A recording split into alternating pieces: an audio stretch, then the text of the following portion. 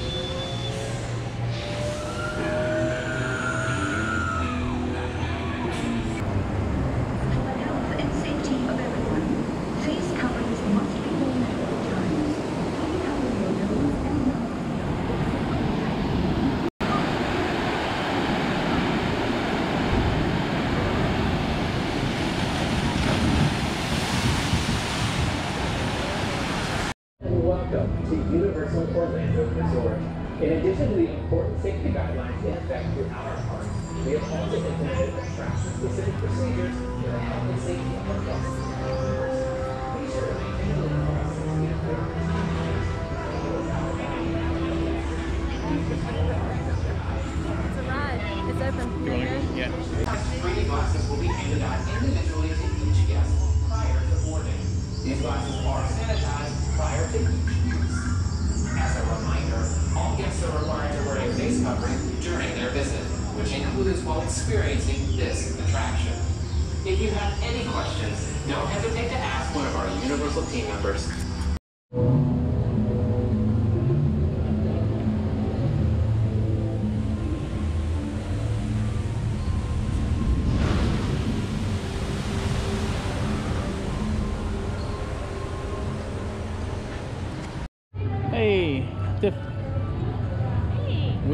Went on. What ride did we just go on? Kong. King Kong.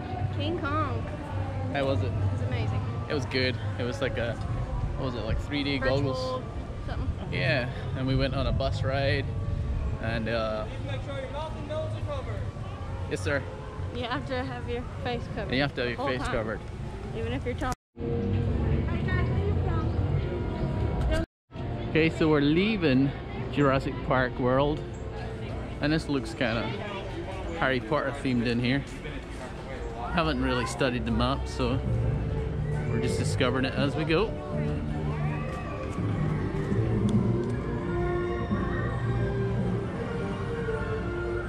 Oh, it's Hogsmeade.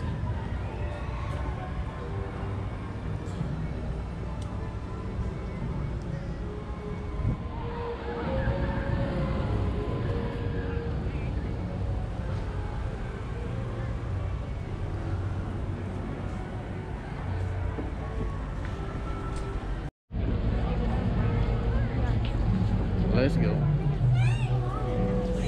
We have express pass.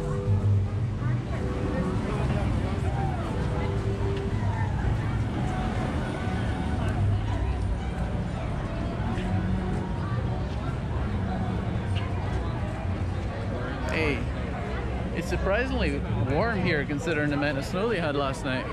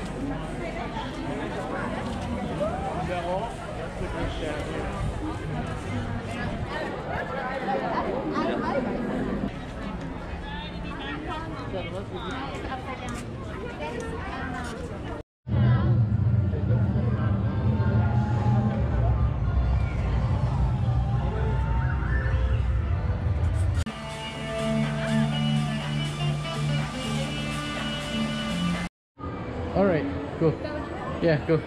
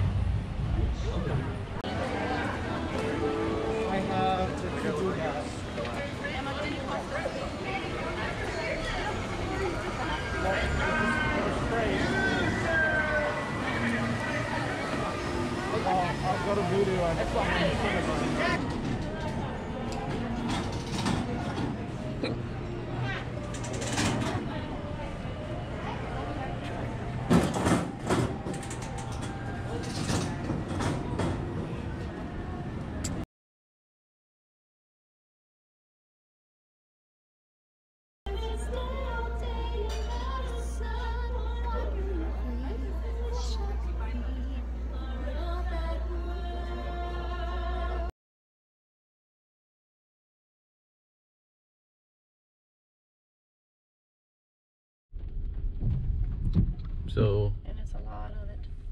the weather's bad on day two, Weather's gonna be bad all day long. so this isn't looking very good. Animal Kingdom. Here we come. Hopefully there's plenty of shelter. So the rain finally went off and now we're heading into Animal Kingdom. What do you think? You ready? I had such an attitude. She had a really bad attitude. I was so mad. but hopefully the rain will be off for a few hours and we'll be able to enjoy it.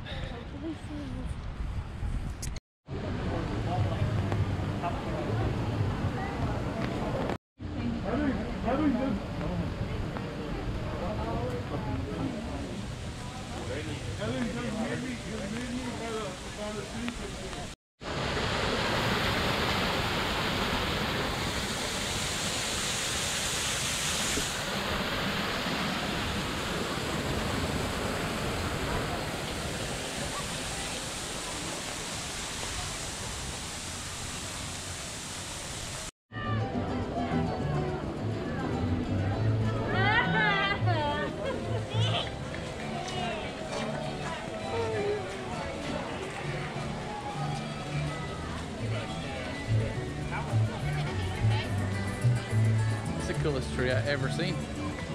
Hey, Fanny, what do you think of the tree? Lion King tree. It's Rafiki's tree. All right. That's from the Lion King, apparently. Look at the animals in it.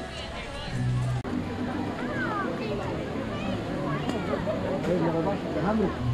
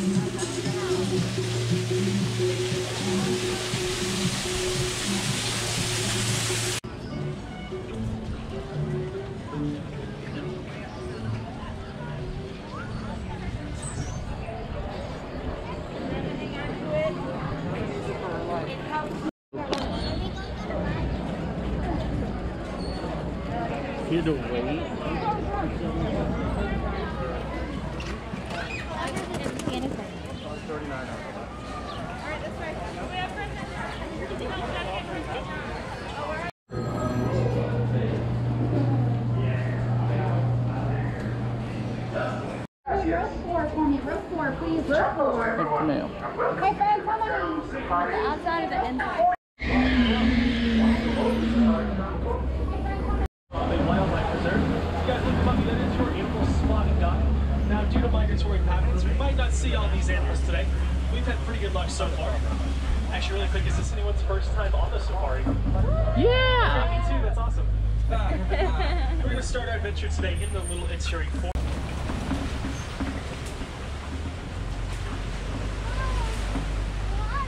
About 3,000 pounds. Now, unfortunately, all The black species rhino. are endangered. They are hunted for those horns. Those horns are made of a substance called keratin, which is actually found in your fingernail here. Basically, just compact here is what makes up a rhino's horn. Off to the right side of the truck, those are bongos, also known as the ghost of the forest. Ghosts of the forest because they are very rarely seen. Those horns aren't tilted backwards, their jaws Oh. almost 180 degrees. It's a hippo. Hippos, like on the left side of the truck, is also called a bloat of hippos. Also on the left side of the truck, you'll see that Like pink back manatee. pelican. Now they get that name pink back because during mating season, their feathers do turn pink to attract mates. They're the smallest of the pelicans. Actually, something really cute that the males do is they'll swim around collecting sticks to present to the females. 2,000 pounds per square inch. It's going to be the Nile crocodile. But don't worry, guys, this bridge can only support four tons, but we weigh six tons right now. We're going to be just fine.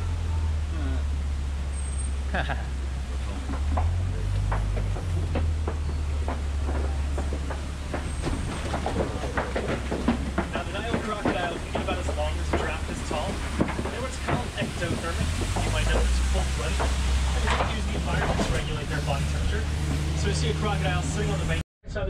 the baobab tree, also known as the tree of life, which is leafless nine months out of the year. Now it's called the tree of life because during cattle, also called the Watusi cattle because of the tribe that domesticated them, they were not used for meat or for milk, but actually as a sign of wealth. So the more you have, the wealthier you were. Those horns are actually not very heavy at all. On the inside, it's a honeycomb structure. Through that honeycomb structure run blood vessels. After you have their first cup of coffee. Uh-huh. They're It's an the African painted predators on dog. the savanna, working together in their packs to bring down animals like lions jumping on them. We're also going to have the Hartmann's Mountain Zebra. I'm going to talk about them in just a second. Really quick, I'll talk about these termite mountains. They can get about as hard as concrete. Elephants will actually use termite mountains as a Wow. back scratcher. There can be enough termites inside to equal the same weight as a small cow. Big termite. So because those aren't mountain zebra, they're back there, they're actually pretty agile. They can climb pretty well. I agree. Well, I'll give you a hint. You actually have to take a look at their nose. Nose is black, so therefore they are black with white stripes. Also coming up is going to be a small herd of wildebeest. Now I say small herd because they've been known to gather in herds of thousands or tens of thousands, sometimes coming together to form a super herd of over 1 million, which is so large it can even be seen from space. They'll travel over a thousand miles through the Serengeti, chasing the rains for new grazing grounds. They actually have scent glands in their hooves, so that way the back of the herd can tell the front of the herd is moving.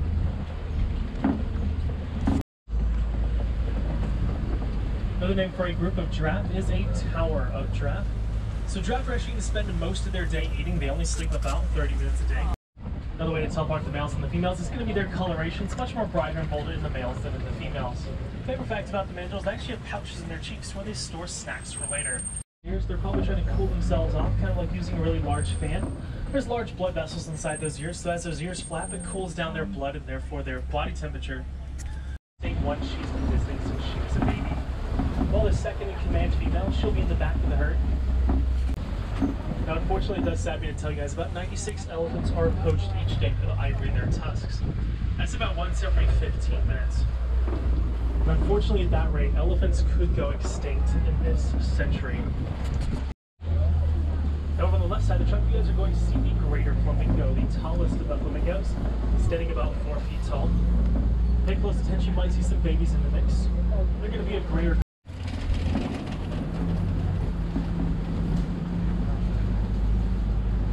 Now, coming up on the left side of the truck, you guys are going to see the scimitar horned oryx. Scimitar kind of like a sword. Pretty cool fact about them is like camels, they can go months without a single drop of water. They conserve their water is by not sweating until their body temperature gets over 115 degrees Fahrenheit.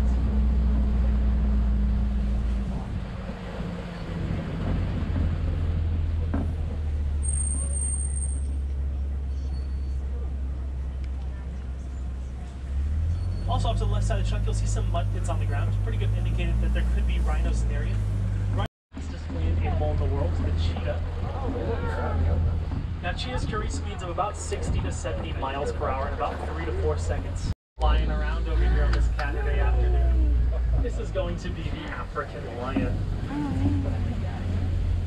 Now, a certain Disney movie might tell you that the lion sleeps tonight, but they actually sleep most of the day, sleeping about 16 to 18 hours a day. They'll come out at nighttime to do a lot of their hunting. Reason for that is because at nighttime, their eyesight is six times greater than it is during the day. It's the females who do all the hunting, while the male sits back and protects the pride. At its loudest, a lion's roar can be heard up to five miles away.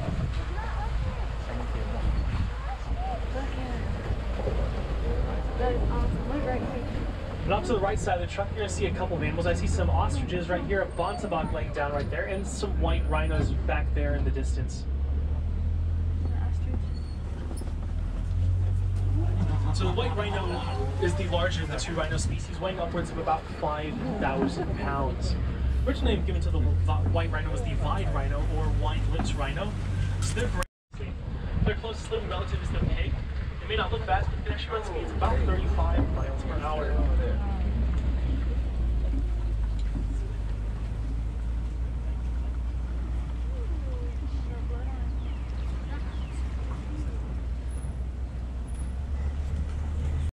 Bontebok laying down over here, as well as some ostriches and the world's largest eggs, the ostrich eggs. So the hmm. Bontebok actually have a pretty interesting story.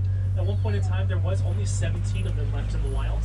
What happened was a farmer gathered that remaining 17 and put them on his farm and actually oh, Up to the left side of the truck, you guys are going to see Thought they showed these the in 19 cabin. Dwarfgo, which only stands about two feet tall fully grown. They're actually very I can see playful animals. Bucky. That playfulness, they'll establish dominance in the group. They're also very skilled climbers. They're sold throughout the world. They're actually used for their milk. Merchandise locations in the village. If you guys looking for wild you got the to a few more African animals might. Pretty pumped up for the truck when they not.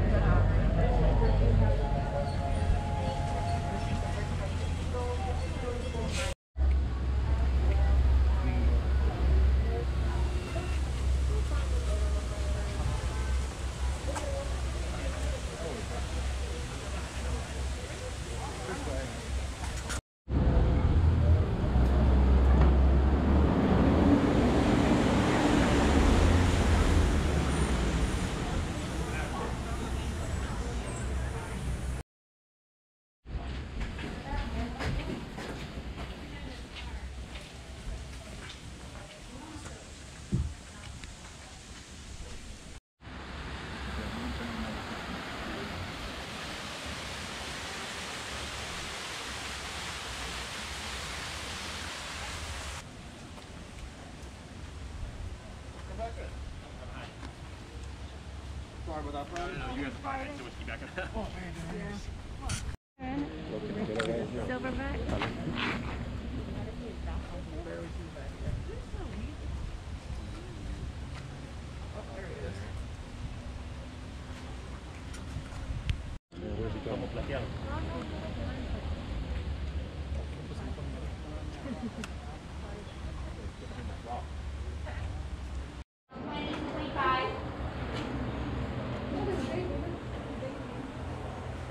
Make sure that we're on a dot, we're not up next to the people in front of us. Just sleeping there.